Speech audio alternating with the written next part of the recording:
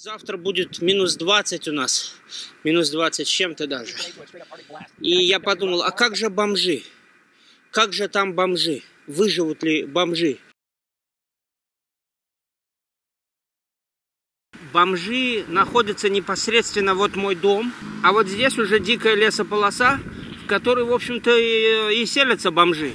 Пару дней назад из одного из этих апартаментов вышвырнули семью за неуплату, прямо вот к холодам. Возможно, они присоединятся к армии бомжей, а может быть, они просто куда-то переехали. А сюда приезжали полицейские и вышвыривали их мебель. Вот очень такой приличный диванчик. Но куда мне его тащить? У меня очень маленький дом. Вот, куча книг здесь. Все остальное более ценное, видимо, забрали или соседи, или сами менты, которые вышвыривали, или пострадавшие. Ну что ж, мы выходим с чьих-то задних дворов и внедряемся уже, так сказать, на ничейную землю. Землю, которую, по моим расчетам, должны были обетовать бомжи. Сразу спуститься я, наверное, не смогу. С другой стороны, я бы срезал. Потому что я точно знаю, что там бомжей нет. Там очень громко, там какой-то карьер. Бомжи, по моим расчетам, должны находиться вон в том секторе. Я спустился с горки, всего один раз за это время пизданулся. И то не потому, что очень скользко, а скорее потому, что давление атмосферное падает столь стремительно, что у меня башка идет кругом. Как будто я где-то в Альпах в Давосе. Я думаю, все эти перепады температур сумасшедшие, снегопады безумные, есть последствия того, что называлось в кино «Сумасшедший Макс. Битва за бензин». И то, что пик битвы за бензин переместился в полную фавел, несчастную Венесуэлу, честное слово, больше упоминать политику не буду сегодня. Все это вселяет робкую надежду, что глобальный пиздец не за горами. Все крякнется гораздо быстрее, чем предсказывают аналитики Уолл-стрита. Мне эта идея пришла вчера, видите, вот это след. Я здесь дочку на санках катал. Hey, can I make a snowman?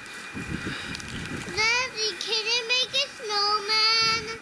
Подумал, а не снять ли маленький короткий сюжет о том, что творится у меня на заднем дворе, потому что если Латинская Америка это задний двор США, как принято говорить в средствах массовой информации, вот, собственно, мой задний двор. Я на этом пустыре гуляю 12 лет уже. А книгу, если вы читали книгу Винсент Убей Пастора, он написан в самом конце. Я здесь гулял собак очень часто.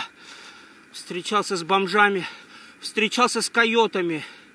Не теми, которые через мексиканскую границу ведут людей, а с настоящими койотами.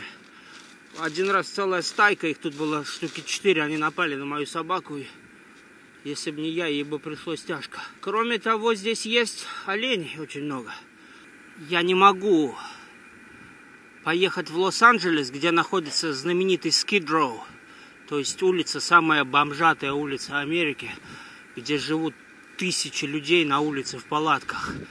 Там же находятся все эти службы социальные, они могут получить еду, когда у них нет денег. Там же они попрошайничают, там же местная мафия их вымогает.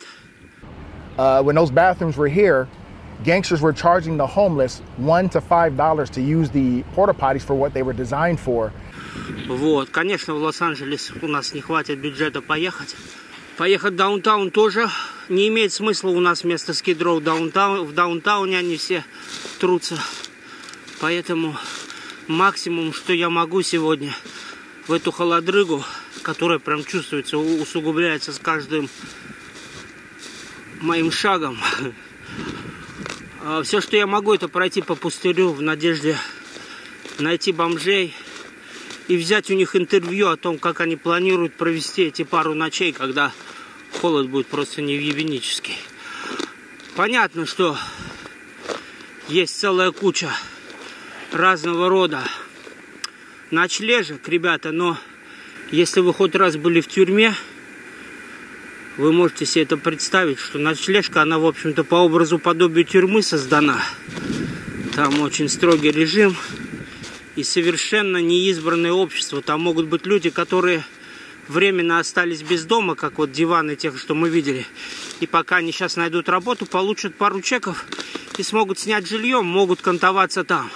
Там есть люди сумасшедшие, которых с детства фармакологическая промышленность посадила на таблетки, и они ёбнулись.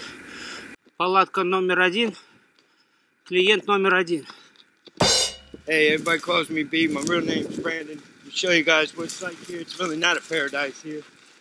I sleep in tents out here because I've been homeless for a while. There's one of my tents. I just had to put it up. I have military blankets wrapped around that tent. That's how cold it is. And Does it it help? still doesn't keep in the heat. It does. Sometimes I can wrap the military around my around my body. Sometimes it'll keep the heat in. But these temperatures we're getting now is brutal. But people around here are getting real mean too. Like if you ask somebody around here for help, they won't help you. Okay. Like last night, it was so cold. I got a bicycle. It broke down because of the cold weather. I was asking people for two dollars for about four hours. Nobody'd even give me two dollars. How about the shelter? Is it, i- is it true that people say that it's pretty much like county jail on the inside? Yeah, you gotta watch it. People steal your shoes from there, So right off your feet. I've watched people sneak people's shoes right off their feet. In. So when it gets really cold, it's not an option to go there, Yeah. spend a couple of nights. Like I could go there and I won't even go there. It's so bad there that it got so cold here the other day. If you guys can see this right here, I had a bunch of candles. I was so cold, I lit up the candles. I went to sleep. I had two pairs of pants on. The candles caught my pants on fire. I threw the pants out of the tent. You can see some of the material is still burnt right here. Oh, so this is how you was keeping warm. Yep, that's my Oh. sweater I had on. Oh God! Here's part of my jeans that I had on. So you had to burn it to stay warm. Yep, I had to catch the ca- candles. Here's the military blankets that I'm talking about. Yeah, yeah, that's what they give like Yeah. on this. And it got so cold here. Look what it did to my tent. Oh, It was God. so cold. I put out the pants. They caught back on fire. I came inside. I blew out all the candles. I went to sleep. Their pants caught back on fire and it blazed my whole tent up. I was lucky enough. I'm still alive. I woke up. There was a bunch of smoke. I couldn't get out, but I remember I had a razor blade in my pocket. Oh. I took the razor blade out and I cut the tent. When I turned around, the tent just engulfed. And then I had a brand new one set up over here, and somebody stole it from me. I think this is the box from it right here. Yep. Brand new tent I had sitting right here. I was about to put it up. Somebody stole it. I tell you what, it's not easy around here, man. Like e- even to get something to eat, it's getting hard. Problem right here so many people out here on drugs. When somebody needs help, they don't know if you really need it or not. It gets here at nighttime now.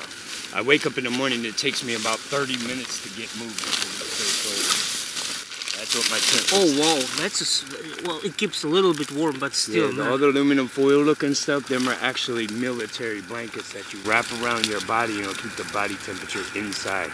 So So the body heat. is there a chance like it's gonna be like I don't know,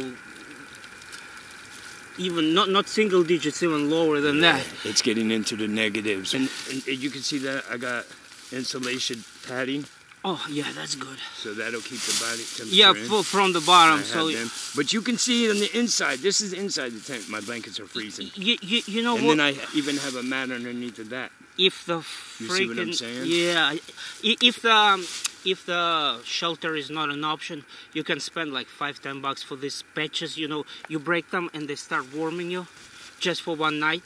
Yeah, that's yeah. You're. I, am trying to Yeah, preach to a choir. And then these, right- these right here, they will work. yeah, yeah, exactly. So this is well, it lasts five hours, probably three hours. It's, Yeah. it's never what it is I advertised. might still. some different kinds in here. No, they're all the same. Yeah. And did you see what I just brought in here today? I didn't really want to take that out, but I will. Oh wow. There's a military army blanket sleeping bag that will actually zip up over my head and tighten around my neck. So So that might help me a little bit. I mean, But as you can see, I got these tarps on. I got this down, and I got the military blankets wrapped all the way around the tent. To try to trap my body heat inside the tent. Yeah, you're not allowed to go in until after 7 at night, and you got to be out by 7 in the morning. Yeah, probably a bunch of bedbugs, a bunch of crazy There people. is, There is. People in there, they fight all the time. Some guy just got chased out there with a machete the other day. They steal from you in there. Of course they would. That's they the come best. here, they try to talk me into going there. There's another thing, too. You're not allowed in there if you ain't got an ID. I know, I know. That for for guys like me, uh, immigrants. Yeah, I don't have an ID, so I can't get in there. Oh, oh, so you're pretty much in the same boat as Yeah, me. My, everything I got was in the pants. It burned up. It happened to me four days ago. You can see the blood still coming through. The inside of my leg is all burned up right here. God, that was. I had uh. I had just got some money. I had my wallet in my pants and everything. They're all gone. You, you, you, you, you need winter boots too, man. Yeah, I got some over there, but they Yeah. burned up in the fire. Everything I had, I lost in that fire. Видите, как затоптана тропинка?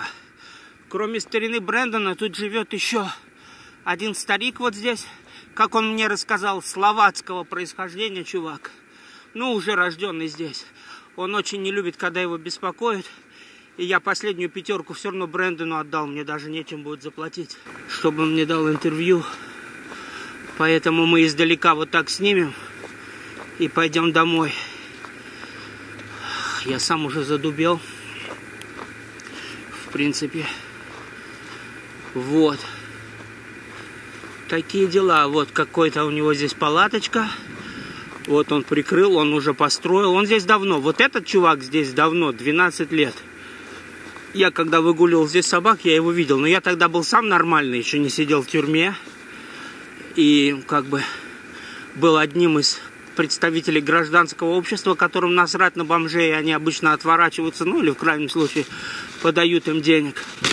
А сейчас я, в принципе, без пяти минут сам такой же. Ладно, не будем беспокоить людей, потому что то, что его не охраняет полиция, и я могу его убить здесь, и никто не будет искать, это еще не значит, что я должен это делать. Наоборот, наоборот.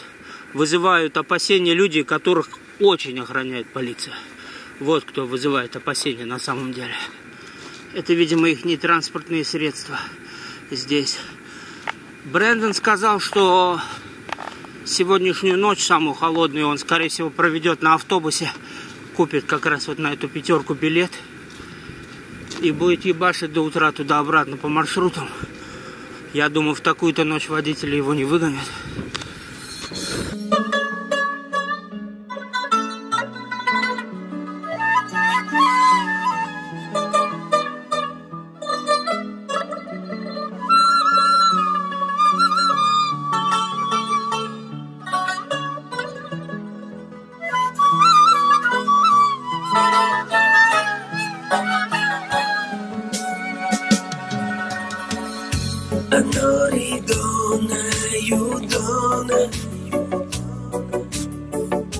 xatarli odayona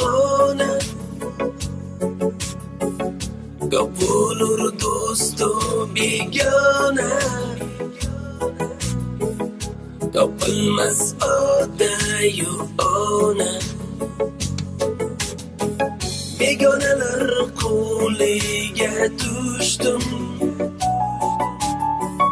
O'zinikidek ko'rmadi hech kim. Oyog'im loyga botganda qo'limdan tortmadi hech kim. Piyolaning sariq rangi mening rangimga o'xshaydi. Ichidagi qora joyi yurak dog'imga o'xshaydi. Anoridona yudona qadrli otayu ona. Gopulur do'stu begona. Topilmas otayu ona.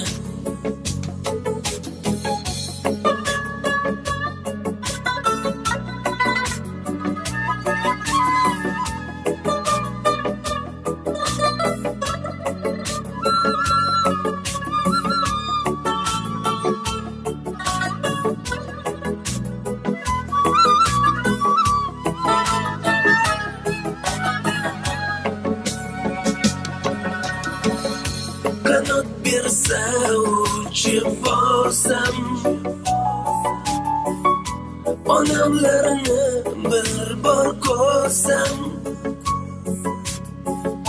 Onam bilan suhbatlashib Yurak bag'rim bayon etsam Navodirlar, navodirlar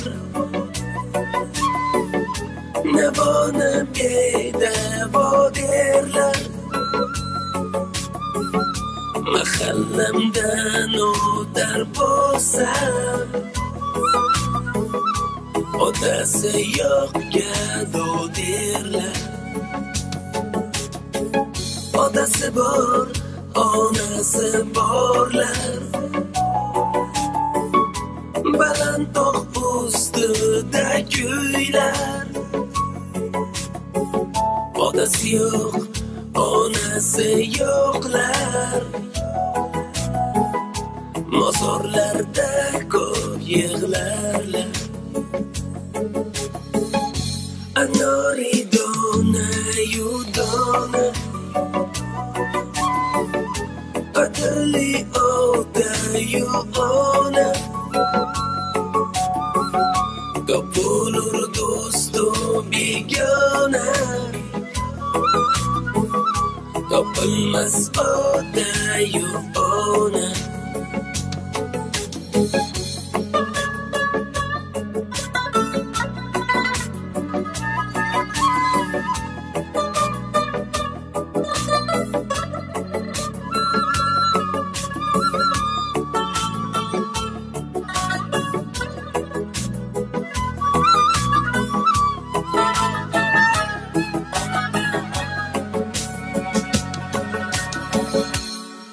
You can see I really need the help.